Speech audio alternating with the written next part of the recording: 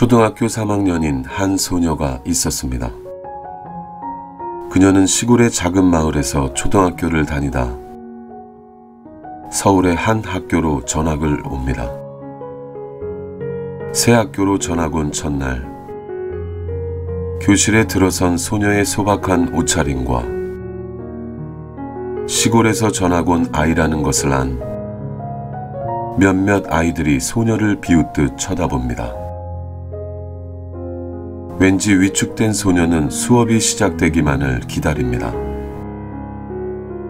담임 선생님이 들어오시고 소녀를 학생들에게 간단히 소개한 후 선생님은 수업을 시작합니다. 선생님은 오늘은 지난주에 배운 세계 7대 불가사의에 대해 쪽지 시험을 보겠다고 말씀하시고 세계 7대 불가사의를 적어서 제출하라고 말합니다. 학생들이 빠르게 답을 적는 동안 갑작스런 시험에 소녀가 당황한 듯 보이자 선생님은 소녀에게 다가와 말을 건넵니다. 얘야, 당황할 필요 없단다. 내가 아는 대로 적어서 내면 된다. 선생님의 말씀에 조금은 마음이 놓인 소녀는 골똘히 생각에 잠깁니다. 소녀를 제외한 다른 모든 아이들이 답안을 제출했지만 소녀는 계속 생각을 하며 열심히 답안을 작성합니다. 선생님이 다시 소녀에게 다가와 말을 건넵니다. 전학 온 첫날에 갑작스런 시험이라 꼭 다 쓰지 않아도 된다. 선생님의 따스한 배려의 말씀에 소녀는 용기를 내어 말합니다.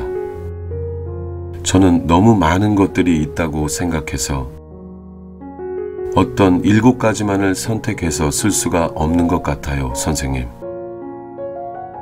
소녀의 말에 살짝 미소를 지으며 소녀가 답안을 낼 때까지 선생님은 기다려 줍니다. 마침내 소녀가 답안을 제출하자 선생님은 교단으로 돌아가 아이들의 답안을 읽기 시작합니다. 대부분의 아이들이 만리장성, 콜로세움, 스톤헨지 등과 같이 세계 7대 불가사의를 정확하게 적어 답을 했습니다. 마침내 선생님은 소녀의 답안을 집어들고 읽기 시작합니다. 제 생각에 세계 7대 불가사의는 첫째, 볼 수 있다는 것. 둘째, 들을 수 있다는 것. 셋째, 느낄 수 있다는 것. 넷째, 웃을 수 있다는 것. 다섯째, 생각할 수 있다는 것. 여섯째, 남에게 친절할 수 있다는 것. 일곱째, 서로 사랑할 수 있다는 것입니다. 소녀의 답안을 읽은 후 선생님은 잠시 말을 잇지 못합니다. 학생들도 말없이 소녀의 모습을 슬며시 쳐다볼 뿐입니다. 선생님은 침묵을 깨고 말합니다. 오늘 전학 온 친구가 우리들에게 우리가 이미 알고 있었지만 쉽게 잊어버렸던 진실로 불가사의한 우리의 소중한 선물을 다시 일깨워 주었구나. 소녀는 선생님의 뜻밖의 말씀에 씩 웃습니다.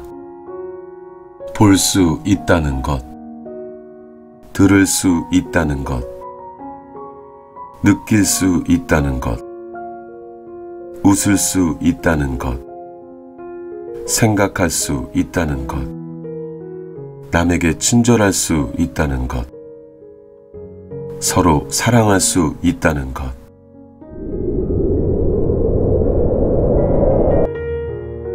우리가 잊지 말아야 할 우리의 진정한 7대 불가사의입니다.